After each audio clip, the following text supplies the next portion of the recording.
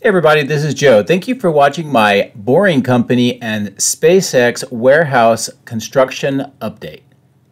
For today, I thought I would try something a little bit different rather than my normal Giga Texas construction update. And instead, I headed about 25 kilometers or 18 miles east on Highway 71 to go check out what is going on with the Boring Company and also with a new SpaceX warehouse construction project.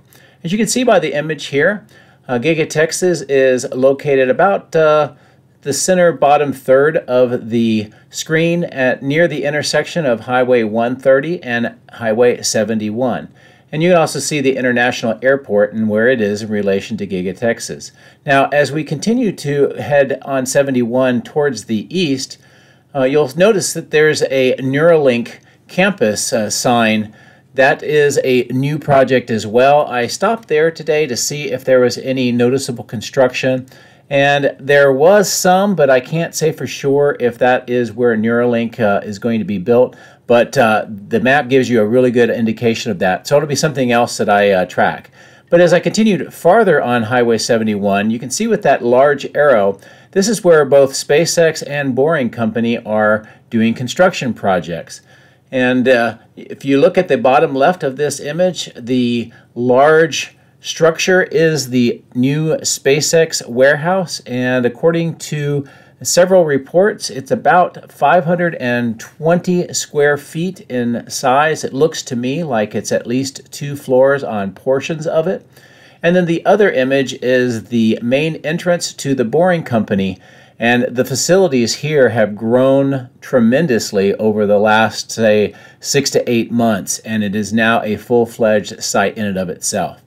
So, without any further ado, I'll go ahead and start the video up. We'll fly around the entire site and we'll see both the warehouse construction and also the new uh, and expanded Boring Company uh, site.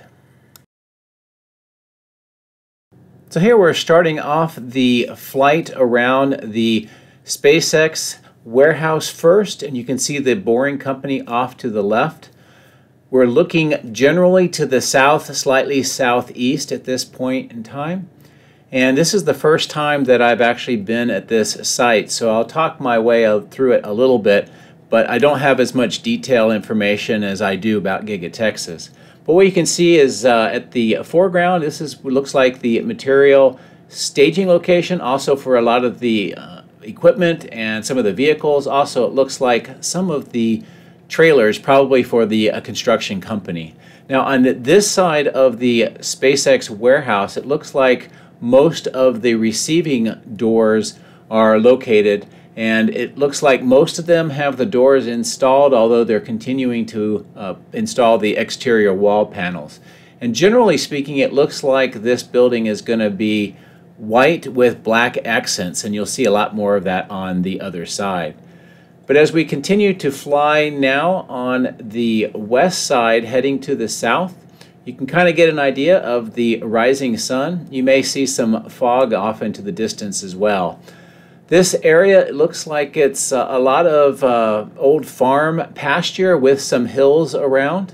Uh, very scenic, actually.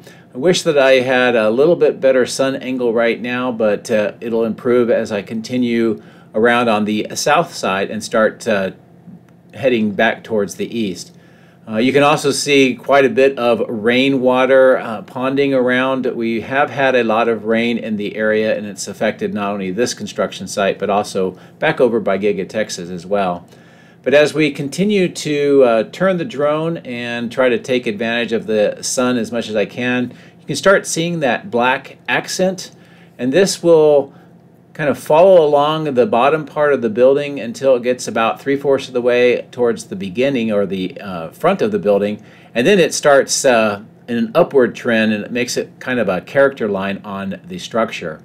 It looks to me like at least 30% uh, or so of the final roof insulation and weatherproof membrane has been installed, but quite a bit of the steel decking is uncovered at this point in time.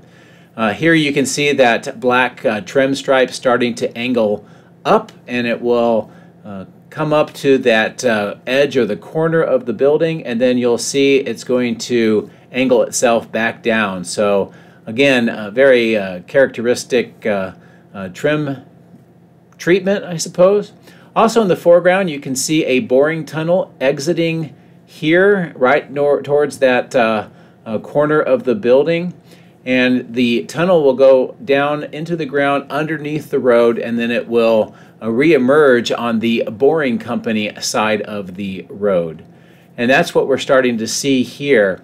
Now, the boring company facilities have grown tremendously over the last six to eight months. Originally, it had just a few of these concrete sections, maybe uh, one of the boring machines, and then this one small white tent that you see. And as I continue to fly towards the east, will reveal quite a bit more of the facility. Uh, that tunnel, by the way, that's coming out of the ground also has those uh, um, pieces of uh, equipment that was recently uh, put out by the boring company uh, official site uh, with a Model 3 into that, that pipe. And they were talking about maybe a, a low-speed Hyperloop. I don't know. But that's where that was actually made. And here you can clearly see the expanded facility, the boring company emblems on some of the structures. There's a very large yellow crane and also some concrete uh, being poured today. It looks like there's a driveway uh, in and around where that uh, uh, boring tunnel came out of the ground.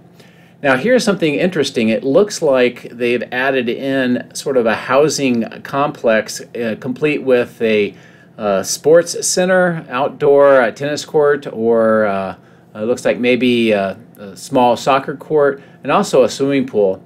And you can see some of the uh, structures here. It looks like uh, maybe worker housing. Uh, it could be very uh, handy as the workers will come in here and work uh, for periods of time and then they would theoretically be off to wherever their uh, construction's going to be taking place. as far as I know, there is a planned boring tunnel over at Giga Texas and I covered that on my 25 November video. But uh, there's also talk of other boring tunnels, possibly connecting Austin and San Antonio, one down in San Antonio as well, and then possibly one connecting uh, Giga Texas with the international airport. So those, I'm not sure uh, when and if they may start, um, uh, but uh, the details that I have, I've either covered on previous videos or it's something that I'll be continuing to monitor.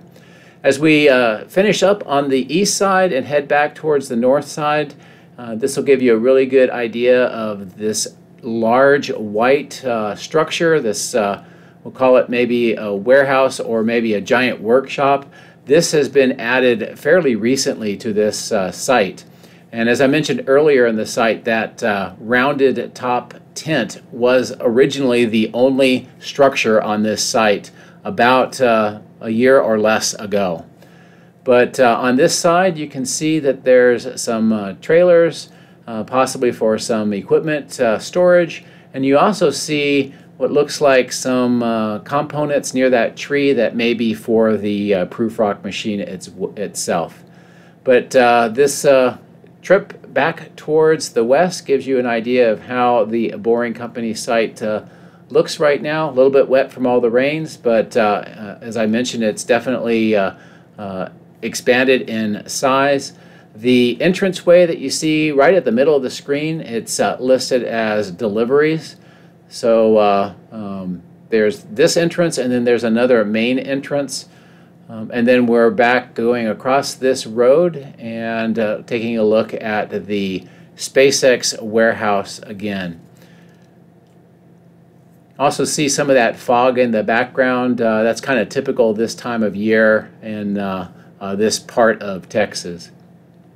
But I will do a pullback to try to uh, give you a good view of the entire two sites.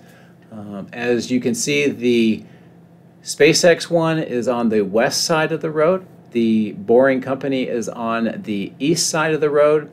And if you were to continue towards the west about uh, 18 miles or 25 kilometers, you would get right to Giga, Texas. But anyway, this is a quick video of these two construction sites, and I hope uh, with the discussion, what we've seen in the video, and hopefully this pullback as well gives you a really good idea of just how close they are located together, how close they are to Giga Texas, and what they look like today on Monday, the 28th of November. I'll try to cover this again uh, maybe in a few weeks or maybe at the beginning of uh, next year.